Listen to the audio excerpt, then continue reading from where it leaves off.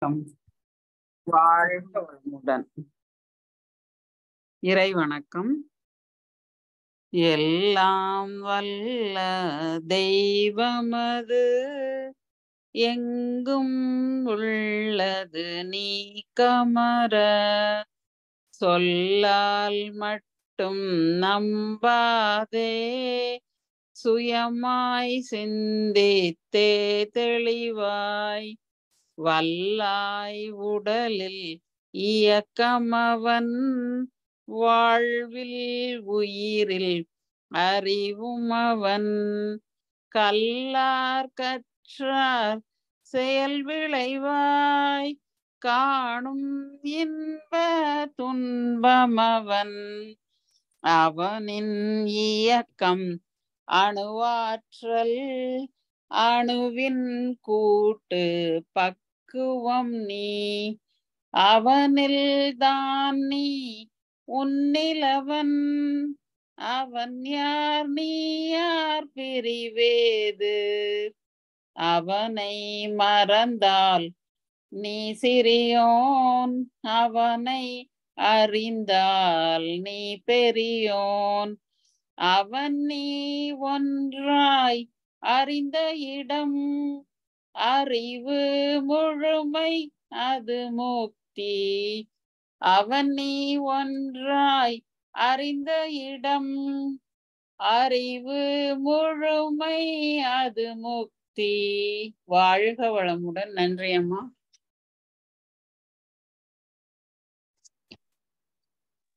வாழ்க வளமுடன்.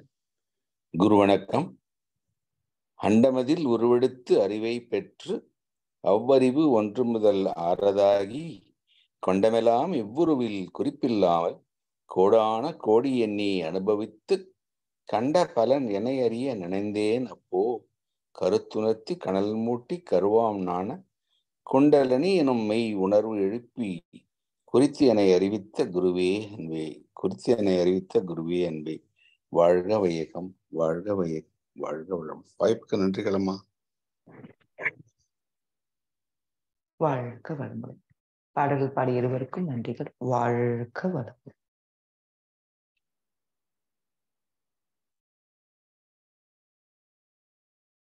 நாடி சுத்தி.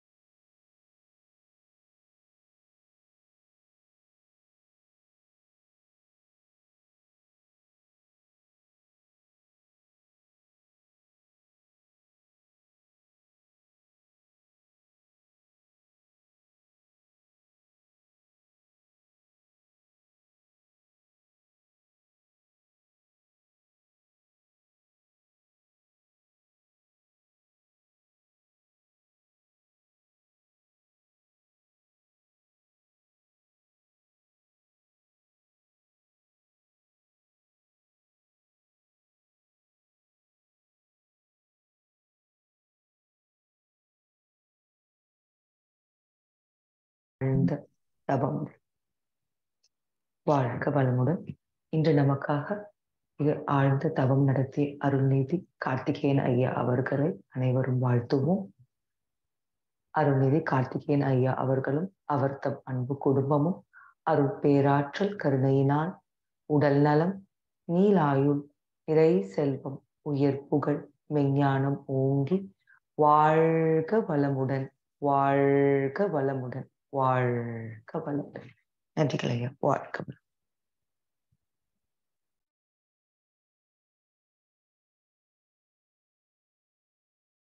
வாழ்க வையகம் வாழ்க வையகம் வாழ்க வளமுடன். குரு வாழ்க குருவே துணை. ஞானக்கலஞ்சி கவி சிறந்த கல்வி.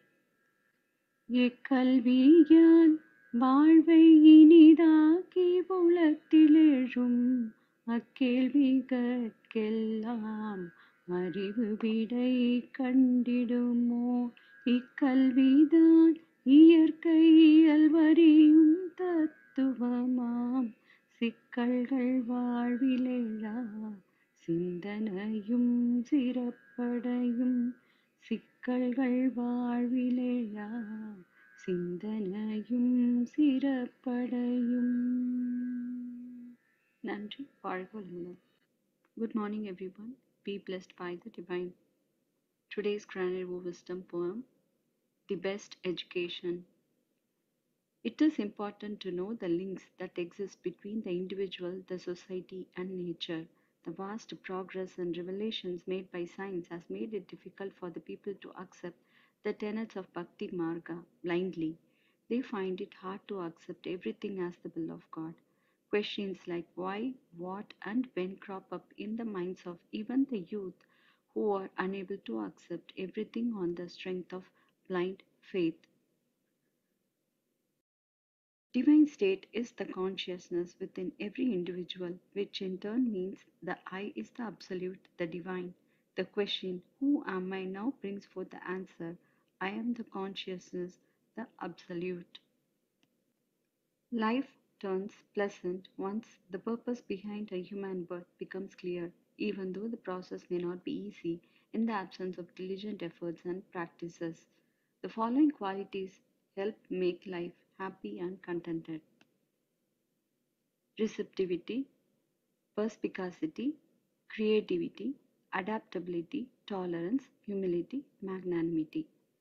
God realization makes one tolerant, adjusting, and sacrificing. Nature is perfect, but human deeds are often flawed.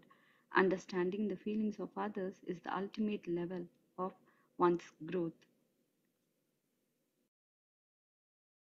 Every deed brings forth a result in keeping with the laws of nature. Events that take place without human efforts are called acts of destiny.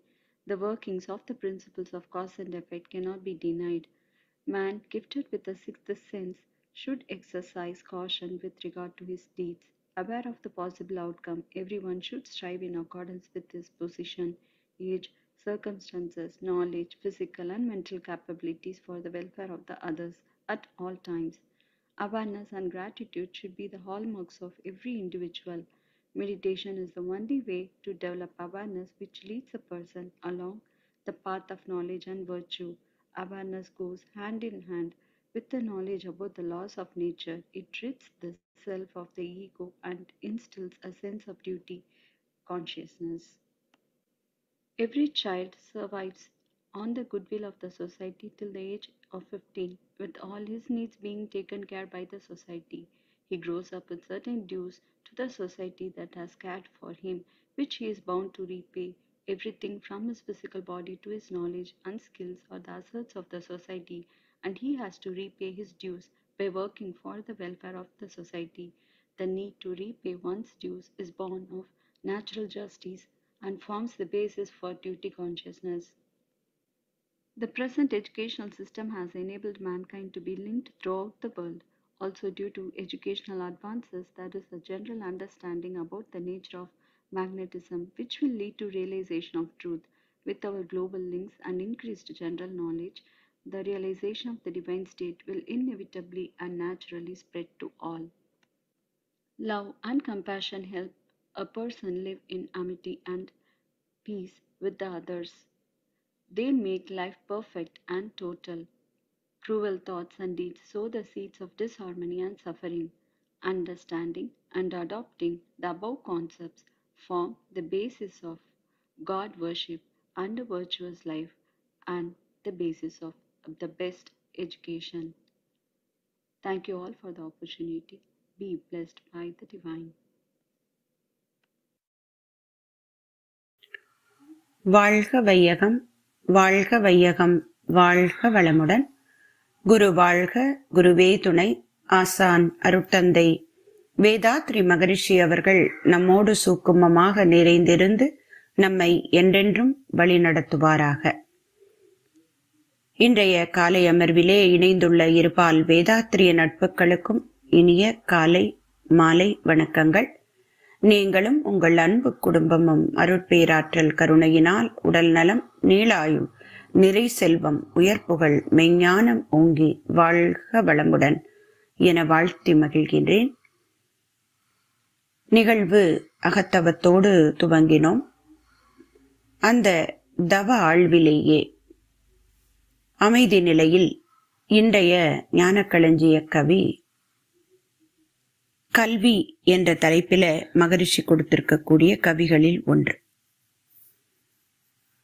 நம்ம எல்லாருக்கும் மகரிஷியினுடைய தத்துவங்களை படிக்கும்போது இந்த கல்வி அப்படிங்கிற பொருளுக்கான முழுமையான அர்த்தம் புரிஞ்சது இல்லையா? நாம இவ்வளவு நாள் என்ன நினைச்சு கொண்டிருந்தோம்? பள்ளியில போய் ஏதோ ஒரு பாடத்தை எடுத்து அந்த பாடம் சம்பந்தமாக நாம் கற்றுக்கொள்ளக்கூடியதுதான் கல்வி. அதை கொண்டு நாம பொருளீட்டி வாழணும். அதற்கு தேவையான கல்வி மட்டுமே அந்த கல்விங்கிற கேட்டகரியில வருங்கிற மாதிரி யோசிச்சிருந்தோம் இல்லையா? என்ன படிக்கிறீங்க? அப்படின்னு கேட்கும்போதே அவங்க எந்த ஒரு ஒரு ப- படிப்பு அப்படின்னா எந்த சப்ஜெக்ட் படிக்கிறாங்க என்ன ப்ரொஃபஷனுக்கு படிக்கிறாங்க? அதை கொண்டு அவங்க வாழ்க்கையில் எந்த தொழிலை பார்க்க முடியும்? அதன் மூலம் பொருளூட்டி பொருளீட்டி வாழ்தல். ஆனால் மகரிஷி தான் இந்த கல்வி அறிவு கல்வி அப்படிங்கிறதுக்கான முழுமையான விளக்கத்தை கொடுத்தாங்க இல்லையா? எழுத்தறிவு தொழிலறிவு இயற்கை தத்துவ அறிவு ஒழுக்க பண்பாட்டு அறிவு. இது எல்லாம் சேர்ந்தது தான் அந்த கல்விங்கிற கேட்டகரியில வரும். அப்போ முழுமையாக ஒரு குழந்தை பிறந்த கணம் முதல் வளர்ந்து வாழ்ந்து அது இறக்கின்ற தருணம் வரை நம்முடைய எண்ணம் சொல் செயல் அத்தனையும் நன்மை தரும் வழிகளில் வைத்துக் கொள்வதற்கு நாம எல்லாம் கற்றுக்கிறோமே அவை அத்தனையும் கல்விங்கிற அடிப்படையில தான் வரும். ஒரு குழந்தைக்கு சாப்பிட சொல்லி தரோம். அதுவும் ஒரு கல்வி தானே. அது ஒழுக்க பழக்க அறிவுக்கு கீழே வருது. அப்போ மகரிஷி சொல்லக்கூடிய இந்த நான்கு வகையான கல்விக்குள்ளேயும் ஒரு மனித வாழ்க்கையில மனத மனிதன் இதமாக வைத்துக்கொண்டு அமைதியா வாழ்வதற்கு தேவையான எல்லா கற்றலும் அதுல அடங்கி இருக்கு. அப்ப அது எப்படி ஒரு மனிதனை உயர்த்தும்? அந்த கல்வி. இப்போ எழுத்தறிவு தொழிலறிவு நாம கற்றுக்கிட்டு இருக்கோம். போய் கல்லூரியில கற்று கத்துக்கிறோம். வீட்டுல பத்து வயது வரைக்கும் நம்முடைய பெற்றோர்கள் சொல்லி கொடுக்கறாங்க. அதற்கப்புறம் ஆசிரியர்கள் இன்னும் இன்னும் பல பல அறிஞர்களுடைய நூல்கள் வழி கத்துக்கிறோம். இயற்கை தத்துவ அறிவும் ஒழுக்க பண்பாட்டு அறிவும். இவைதான் நமக்கு மனவளக்கலை கற்றுக் கொடுக்கிறது. அப்போ கற்றது உண்மையில் கருத்து விரிவு அ- அப்படின்னு மகரிஷி ஒரு இடத்துல சொல்றாங்க. எல்லா கல்வியும் கற்றது கருத்து நமக்கு விரிவடைந்து வாழ்வதற்குத்தான். இல்லையா? கல்வின்னா எழுத்து தொழில் ஒழுக்கம் ஞானம் கற்பதும் பின் வழுவாது நிற்பதுமாம் அப்படின்னு சொல்றாங்க. அதே மகரிஷி முழுமையான கல்வி எதுனா எழுத்தறிவு தொழிலறிவு இயற்கை தத்துவ அறிவு ஒழுக்க பழக்கங்கள் இவை உணர்த்தும் முறையே கல்வி அப்படின்னு சொன்ன மகரிஷி அதுல பிராக்கெட்ல ஒரு வார்த்தை போடுறாங்க இழுக்கின்றி. அங்கே கசடு அற கற்கணும். வள்ளுவர் சொன்ன அந்த கற்கல்வி ஓ, க- பற்றிய குரல் கற்க கசடர கற்றபின் கற்றவை கற்றபின் நிற்க அதற்கு தக. அதுதானே நம்ம இன்ஃபர்மேஷன் அப்புறம் கன்ஃபர்மேஷன் அதுக்கப்புறம் டிரான்ஸ்ஃபர்மேஷன் அப்போ அந்த கன்ஃபர்மேஷன்னா கசடு அற கற்கணும். அதுதான் பிராக்கெட்ல அந்த வார்த்தை குறிப்பிடுறாங்க. இழுக்கின்றி. அப்ப இப்படிப்பட்ட கல்விதான் நம்முடைய கருத்தை விரிவடையச் செய்யும். கற்றது உண்மையில் கருத்து விரிவு பெற்றது நிறைவும் பேரானந்தமும். அற்றது பழிச்செயல் அழுத்தப் பதிவுகள் உற்றது பிறவி பயன் மெய்யறிவு. இது ஒரு தனி மனிதனுக்கான பலன். இல்லையா? தனி மனிதன் தன்னோட வாழ்க்கையில கற்றுக்கொண்டது அத்தனையும் அவனுடைய சிந்தனை உயர்வுக்கு. அந்த சிந்தனை உயர்வின் வழி இழுக்கின்றி கற்றபடி வாழும்போது அவனுக்கு என்ன கிடைக்கிறது? நிறைவும் பேரானந்தமும். தன்னிடம் உள்ள களங்கங்களை மாற்றிக்கொள்ளக்கூடிய அந்த ஒழுக்கப்பழக்க அறிவு இயற்கை தத்துவ அறிவு தன்னை ஆராய்ச்சி செய்வதற்கான ஒரு கேள்வி அந்த கேள்வியை எழுப்பது நான் யாருங்கிற கேள்வி அதற்கு பலன் தேடும் போது தன்னை இறைநிலையோடு ஒ- ஒன்றச் செய்வதற்கான தவம் செய்கிறோம். அதனால் நம்முடைய கர களங்கங்களை துவங்குகிறோம். அற்றது பழிச்செயல் அழித்த பதிவுகள். அதனால் கிடைத்தது என்ன? பிறவி பயன் மெய்யறிவு. அந்த வாழ்க்கையினுடைய முழுமை பெற்ற நிலையை அடைந்து விடுகிறோம். இது தனி மனிதனுக்கு. அப்ப இந்த கல்வி எல்லாரும் கற்றுக்கொண்டு இந்த உலகம் ஏன்னா தனி மனிதன் தான் சமுதாயம் இயற்கையின் தொடர்பில் தான் வாழறான். அப்போ இப்படிப்பட்ட கல்வியிலே மக்கள் பெரும்பாலோர் தேர்ந்து தன்னுடைய கருத்தை உயர்த்தி கொண்டு உடல் அரசு பொருள் நலம் உணர்ந்து கல்வியிலே மிக்கோரானால் அப்படிப்பட்ட மிக்கோர் ஆட்சி ஏற்றுக்கொண்டால் உலகில் உள்ள பொறுப்புடைய தலைவரெல்லாம் உயிரறிவை உள்ளுணர்வாய் பெறுதல் வேண்டும். சொன்னாங்க இல்லையா மகரிஷி? அப்போ இந்த தனி மனிதனுக்கான பலனை சொன்ன மகரிஷி தான் இந்த கல்வி இந்த ஒழுக்க பழக்க அறிவி ஞான கல்வி கிடைச்ச மனிதன். தன் தான் மட்டுமல்ல இந்த உலகத்தையும் உயர்த்த முடியும். அப்ப அப்படிப்பட்டவர்கள் ஆட்சி ஏற்க கடமைகளை புரிந்திட அவர்கள் ஒத்துழைத்தார் ஆனால் கல்வியினால் கருத்து உயர்ந்து அன்பு ஓங்கும். கருத்து உயர்வில் நூல்கள் பல வெளிவரும். அதனால் பல மனிதர்கள் அதை பின்பற்றி எண்ணம் சொல் செயலை மாற்றிக்கொள்வார்கள். அதனால் நல்ல செயல்கள் உண்டாகும். அப்ப முதல்ல தனி மனித அமைதியில துவங்கின மகரிஷி இந்த கல்வி எப்படி தனி மனிதனுக்கு உபயோகப்படுகிறது அப்படின்னு சொன்னவங்க அடுத்தது கல்வியின் சிறப்பாக என்ன கொடுக்கறாங்க? இந்த உலகம் உய்வதற்கு இந்த கல்வி எப்படி துணை நிற்கிறது? அப்போ அந்த கல்விதான் சிறந்த கல்வி அப்படிங்கறத இன்றைய பாடல்ல சொல்றாங்க. எந்த கல்வியால் வாழ்வை இனிதாக்கி உள்ளத்தில் எழும் அந்த கேள்விகளுக்கெல்லாம் அறிவு விடை கண்டிடுமோ? நான் ஏன் இப்படி கஷ்டப்படுறேன்?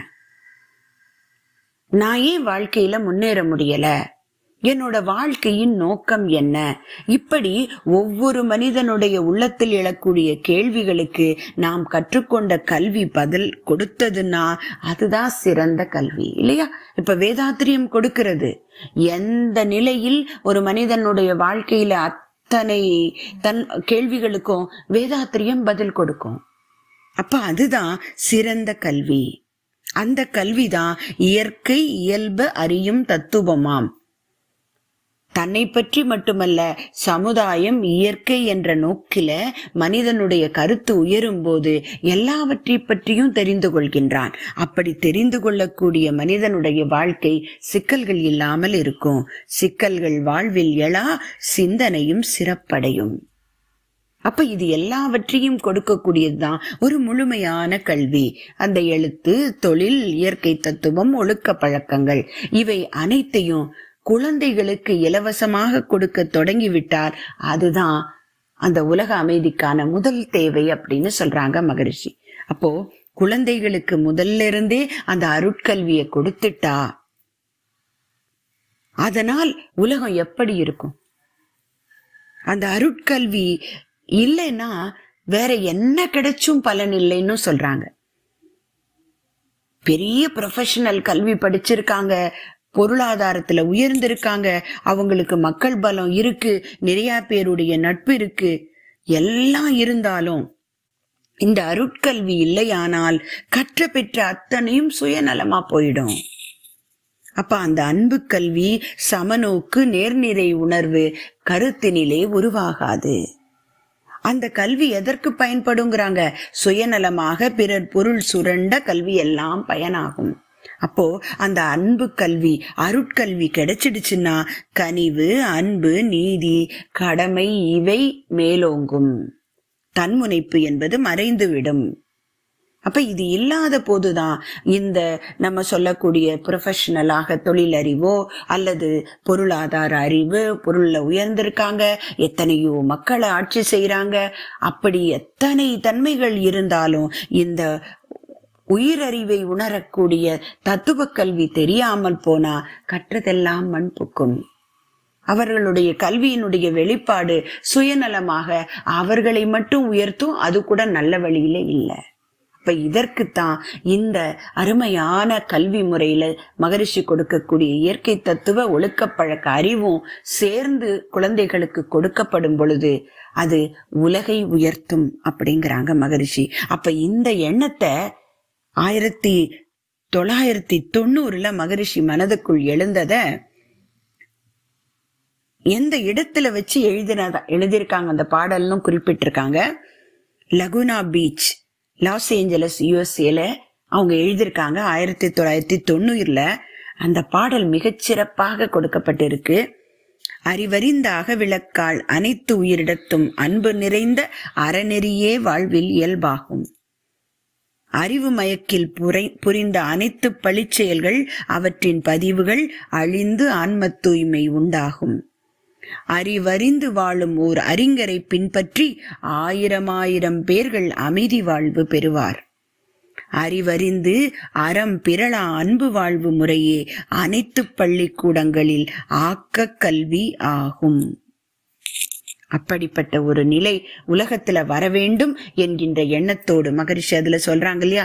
அறிவறிந்து வாழும் ஒரு அறிஞரை பின்பற்றி ஆயிரம் ஆயிரம் பேர்கள் அமைதி வாழ்வு பெறுவர். அப்படிப்பட்ட ஆயிரம் ஆயிரம் லட்சக்கணக்கான மக்களில் ஒருவர் தானே நாமும் வேதாத்ரி மகரிஷி என்ற அறிவறிந்து வாழ்ந்த ஒரு அறிஞரை பின்பற்றி வாழறோம். இந்த கல்வி உலகத்தில் இருக்கக்கூடிய அத்தனை பள்ளிக்கூடங்கள்லையும் குழந்தைகளுக்கு கற்றுக் கொடுக்கப்படும் போது உலக அமைதி என்பது விரைவிலே கண்ணெதிரே நடக்கும் அப்படிங்கிறத மகரிஷி கண்ட காட்சியைத்தான் இந்த எட்டு வரிகள்ல அந்த ஒரு கடற்கரையில எழுதியதாக குறிப்பிட்டிருக்காங்க. அப்படிப்பட்ட சிறந்த கல்வியை நாம கற்றுக்கொண்டு இருக்கிறோம் அதன்படி வாழ்வோம். எழுக்கின்றி கற்று உலகத்திற்கு கொடுக்கக்கூடிய தொண்டையும் செய்வோம் என்று அருமையான இந்த பாடல் மூலம் நாம் நம நம்முடைய கருமையத்தில் இதை பதித்துக் கொண்டு வாழ்வோம்.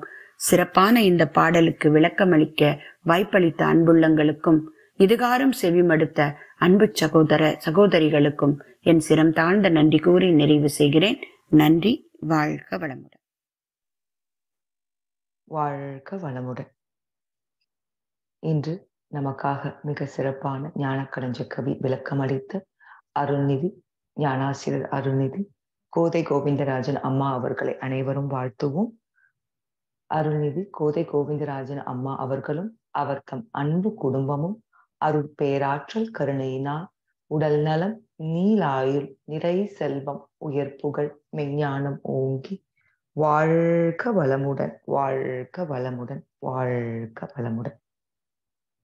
நிகழ்வின் நிறைவாக உலக நல வாழ்த்து.